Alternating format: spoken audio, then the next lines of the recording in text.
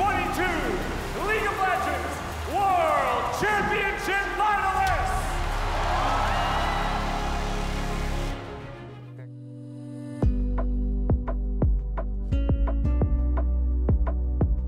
On s'attendait pas parce que c'était une nouvelle équipe qui vient d'être composée et euh, on n'allait pas, on savait pas où cette équipe va aller.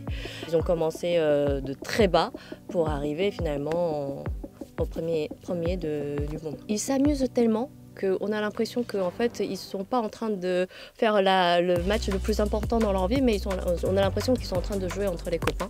Et je pense que c'est ça qui a fait la différence pour cette équipe, c'est qu'ils s'amusaient en, en jouant et c'est ce qui a garanti leur victoire.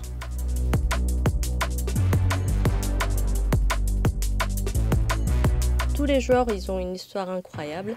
Donc on a notamment Deft qui est très connu, notamment en Chine, mais en Corée du Sud aussi. Il est, euh, il est pro gamer depuis plus de 10 ans. Donc euh, pour les pro gamers, c'est quand, même, euh, c'est quand même un record très très long. Et après, il y a quatre autres joueurs qui, n'ont pas été super connus avant cette victoire et qui euh, affirment avec leur euh, personnalité assez originale. Chacun un, rôle et des, des, positions un peu différentes, donc vous allez découvrir dans le film.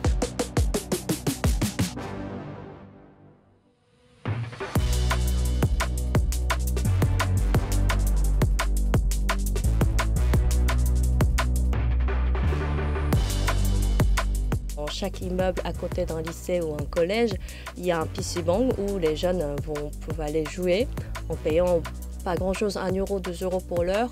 Ils jouent tout le temps avec un ordinateur hyper puissant.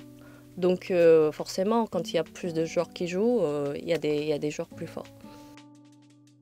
Ce qui m'a vraiment étonné, c'est euh, euh, le côté discipline des joueurs coréens. C'est-à-dire que on a tendance à croire que les pro gamers, c'est des jeunes euh, qui ne pensent qu'aux jeux, qui sont addicts aux jeux, mais ce n'est pas du tout le cas. C'est-à-dire que euh, eux, c'est des, des, bons gamins qui sont vraiment bien élevés et euh, qui, qui pensent à bien, qui pensent à l'avenir, qui pensent à, leur futur, qui pensent à, au monde. Donc en fait, quand, quand j'ai interviewé les joueurs, ça m'a impressionné leur leur niveau de, réflexion et de l'intelligence que je peut-être je m'attendais pas avec un stéréotype un peu, un peu basique mais euh, par exemple le, le, le, passe-temps préféré de Faker, le joueur le plus connu au monde, c'est la lecture. Donc il, il lit plein de livres pendant, pendant un championnat.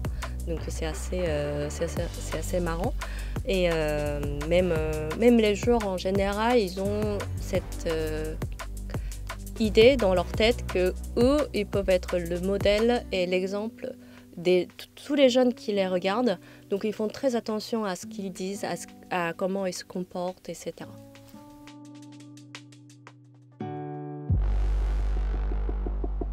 Cette euh, légende urbaine que si on veut se marier avec une fille, il faut battre euh, son futur euh, beau-père avec un, StarCraft. Donc ça c'est, ça c'est une légende urbaine mais en fait qui symbolise assez bien à quel point e-sports est un, une culture qui concerne toutes les générations en Corée du Sud, non pas seulement les jeunes.